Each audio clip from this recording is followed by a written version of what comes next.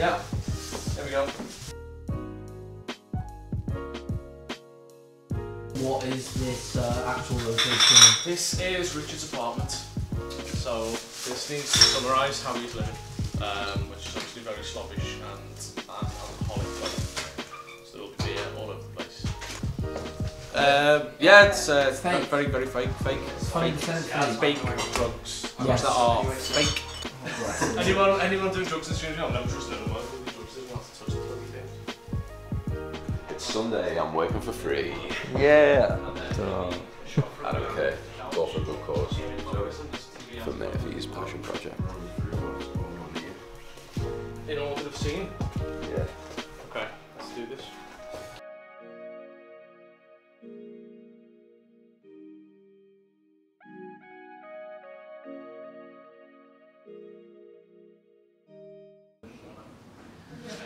Murphy, when you were speaking to me, you said um, how you kind of find pieces of yourself within Richard, the Yeah. clown.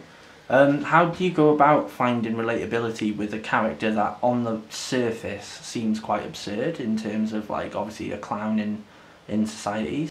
I'll, I'll keep the short story relatively short. I was, and this sounds absolutely bizarre and doesn't sound like it's related at all, but I've got a point to it. So I was a goth in school. I was always an outcast. I was, uh, was bullied throughout my school life, both junior school and high school.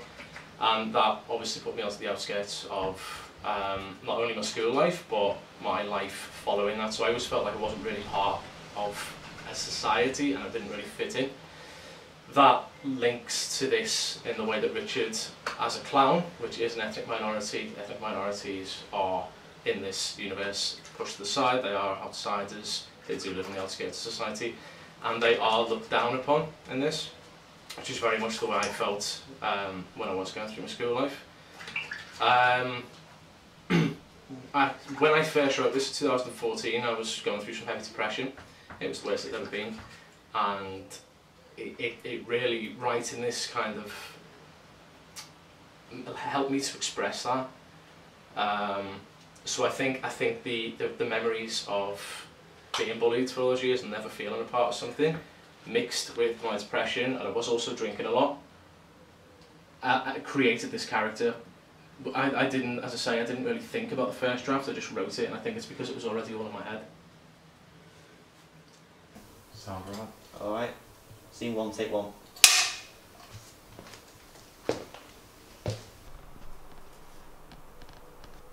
Hi,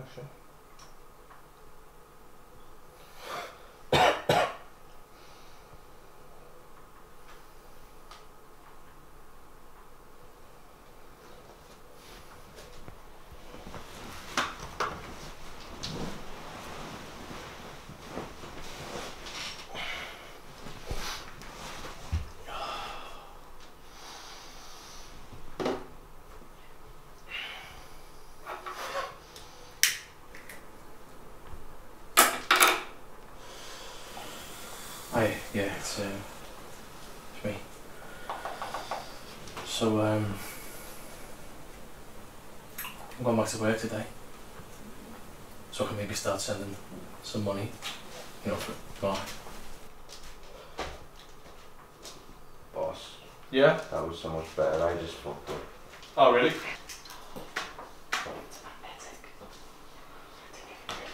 That's the one. That's the one. That's, that's the take. Yeah. Excellent. Oh, just fancy a biff. What? Just fancy smoking out this biff for me. Or just some of it. Oh, it's a tough life, yeah. We're getting some um, Free cigs. Is this some health and safety? Play. or? It's better Yeah, than I'm paying sorry, to not die, isn't it? smoke, guys. It needs to be in for the scene. Um, actually, you know what? Because we're gonna go from there. I might just get you starting stood up. Yeah. What's an up anyway? If you walk towards the window now. Yeah. From there? Oh, start, stood up. Yeah, yeah. Start stood up.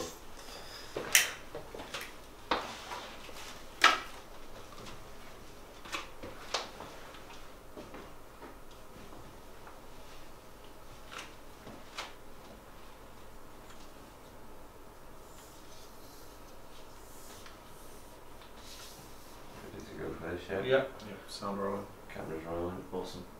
Take seven.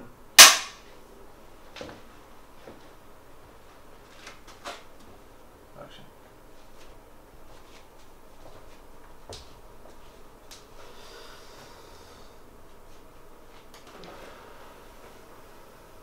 Uh, it was a friend of his was acting in one of his productions called Forward Slash Jobs, and she messaged me just saying, "Kyle, I need a photographer. I know you can take photos. Can you come down?" Because apparently they had this photographer and he just didn't really suit the, the feel on set. And I went down and I, I spent half the time clowning around and being an idiot and making jokes and stuff. But even though I act like a bit of an idiot on set, generally, um, people like, well, the photos are worth it. We'll put up with them. That, that's literally what I've been told a number of times is that people will put up with me because the photos are good enough. And um, he really liked what we did, and I ended up helping out a little bit with the set dressing and stuff. And this time he just asked me to come back as still photographer, but with it being small production, I think everyone does a bit of everything really.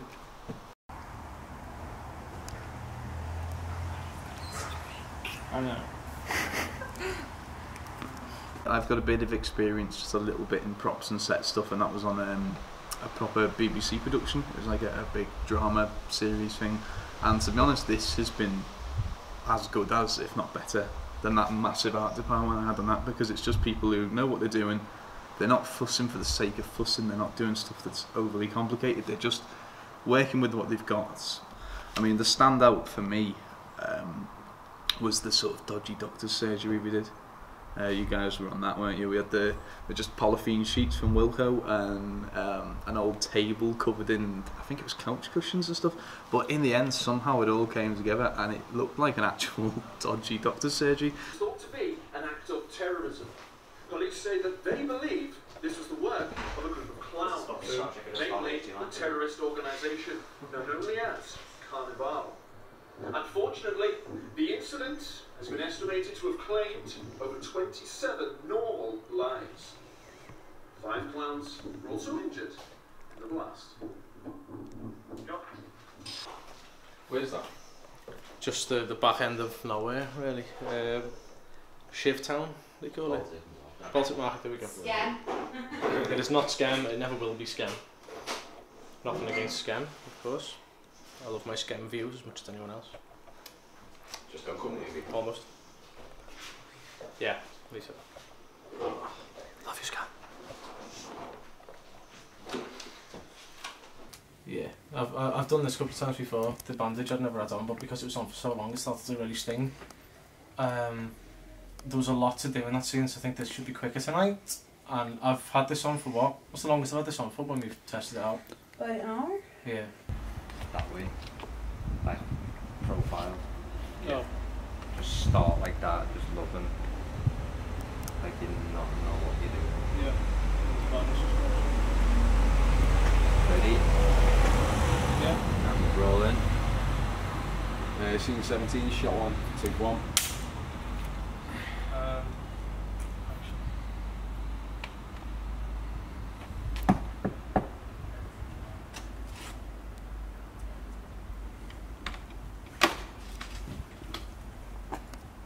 Richard.